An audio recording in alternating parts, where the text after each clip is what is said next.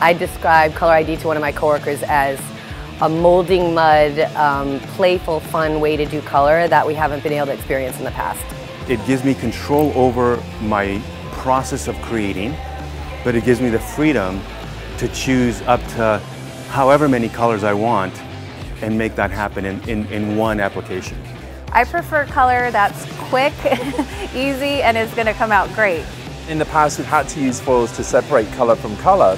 We can now apply a color right on top of another color, which is going to make it a lot faster. Color.id in one word, fast.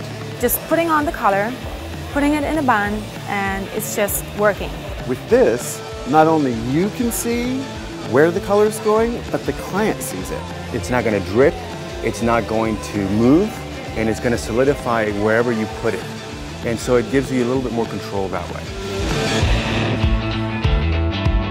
It's like the texture of it was amazing and being able to use a little spatula so it's like using different tools and molding the hair. It just allows you to open and expand your mind. It's so sculptable that I could actually kind of sculpt a shape in her hair. So she had like color on her hair, but it looked really cool. When I was using the color and I was applying it, my client said to me, it's like you're painting.